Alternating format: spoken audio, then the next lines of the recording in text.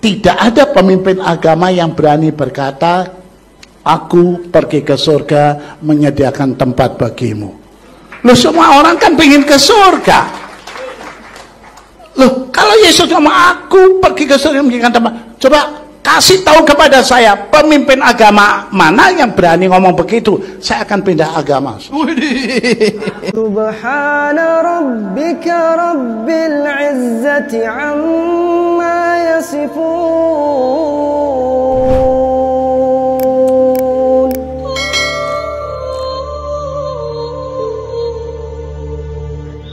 Assalamualaikum warahmatullahi wabarakatuh.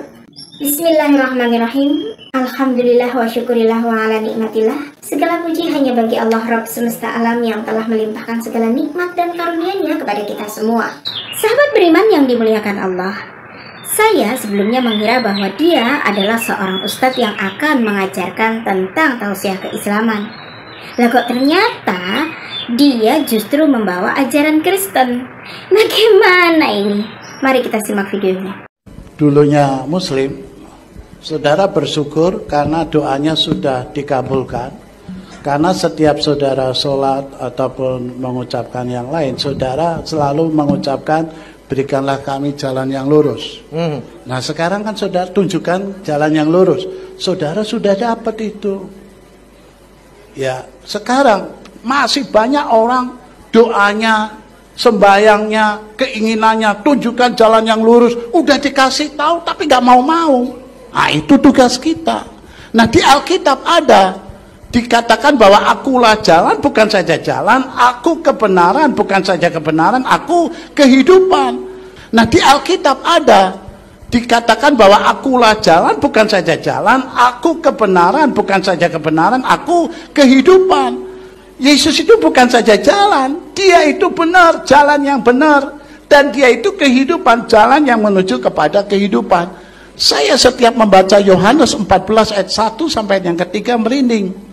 Yesus berkata, jangan gelisah hatimu, aku pergi ke surga menyediakan tempat bagimu. Salah satu dari sekian alasan saya mengapa mau menjadi orang Kristen, karena tidak ada pemimpin agama yang berani berkata, aku pergi ke surga menyediakan tempat bagimu.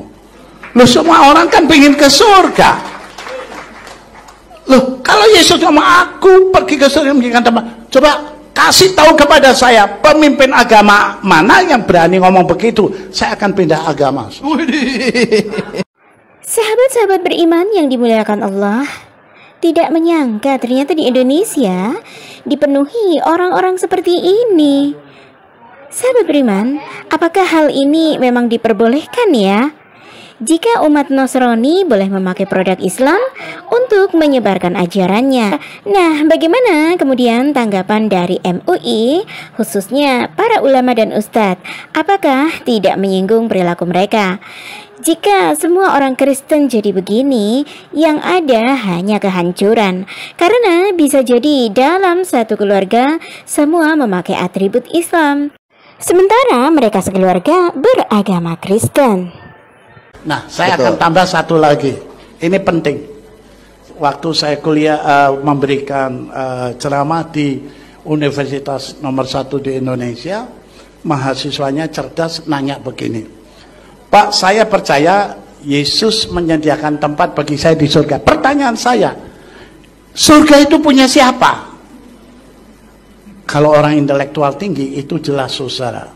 Ya, ini jebakan kalau Yesus bukan penguasa di surga, dia menyediakan tempat di surga, Pak Fadil bukan penguasa tanda kutip ruangan ini, lalu dia bilang, ayo Pak Abram tinggal di sini, tidur di sini. Nah, kalau Pak Fadil bukan yang punya ruangan ini, lalu ada Pak Herefa datang, saya diusir. Saya bilang sama Pak Herefa, loh Pak Fadil yang nyuruh ke sini, loh emang dia punya kuasa di sini? Saya merinding Tuhan, saya harus punya jawaban yang tepat. Saya berdoa. Ketemu Matius 28 ayat 18. Apa bunyinya? Tidak berbunyi kecuali dibaca. Nah, oke okay lah. Bunyinya begini. Matius 28 ayat 18. Ak, uh, kepadaku telah diberikan apa? Segala kuasa. apa? Maaf, Anda itu merendahkan Yesus. Bukan kuasa, segala kuasa. Di mana? surga dan bumi. Tahu artinya segala? Apa bedanya segala dan segala kuasa? Kalau segala kuasa, apa bedanya dengan yang kuasa? Kalau segala kuasa itu ada kata segalanya. Kalau kuasa nggak ada. Ya iya, nenek-nenek juga tahu. Tapi maksudnya, kalau segala kuasa itu unlimited. Ya. Tidak terbatas. Tapi kalau Yesus punya kuasa, ku- limited, terbatas. Maaf, Presiden Jokowi itu presiden kekuasaannya terbatas. Nanti tahun 2024 tidak bisa dipilih lagi. Ya, terbatas oleh lo- lokasi, oleh waktu, tapi Yesus memiliki segala kuasa. Di mana? Di surga dan di bumi. Kalau Pak Fadil yang punya ruangan ini lalu meminta saya nginap di sini, tidak ada yang ngusir. Pak Eva mau ngusir? Oh enggak, orang udah dibeli Pak Fadil. Dibeli. Nah, kira-kira seperti itu. Jadi seperti itu. Jadi Yesus punya segala kuasa. Jadi dia janjikan kita pergi ke surga, eh, menyediakan tempat kita di surga, dan dia yang punya segala kuasa di situ. Haleluya. Sahabat beriman, semoga para ustadz dan ulama kita mau menanggapi hal yang mungkin sepintas remeh ini. Karena hal remeh ini bisa saja menggerogoti umat Islam dan mengecoh umat Islam melalui cara mereka berpakaian dan mereka akan beranjak kepada pemahaman atau syariat yang bisa saja mereka bengkokkan dan mereka rubah-rubah untuk merusak Islam dari dalam.